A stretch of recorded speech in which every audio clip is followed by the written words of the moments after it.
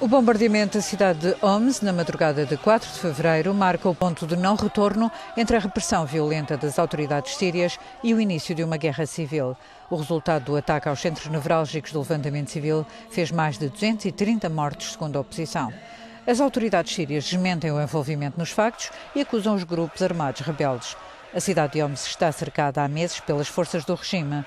As restrições impostas aos jornalistas estrangeiros na Síria dificultam a verificação das informações, mas até nas reportagens oficiais, transmitidas pela televisão à Dúnia, os habitantes de Homs mostram as granadas de morteiro e de obus usadas e pedem a proteção do exército sírio.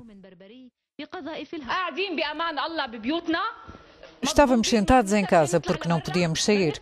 De repente ouvimos uma explosão. Parecia que o edifício ia ruir. Vejam os vestígios do crime. Olhem a liberdade que querem. Colocam as crianças em risco numa situação de perigo. Como pode acontecer uma coisa destas? Isto é uma granada de obus. E é isto que nos vai trazer a liberdade. Vão para o inferno se esta é a liberdade que querem. Poucas horas depois, no Conselho de Segurança da ONU, em Nova Iorque, a China e a Rússia vetaram pela segunda vez uma resolução sobre a Síria.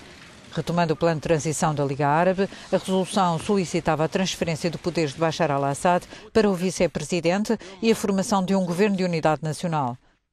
Em Damasco, Mohamed Salman, o ex-ministro sírio da Informação, apela ao povo para aproveitar a ocasião proporcionada pelo veto e encontrar uma saída para a crise. Não se trata de aceitar ou de recusar um veto. Trata-se da crise, da crise nacional do regime, a crise entre as fações da oposição, a crise do povo e da segurança na Síria.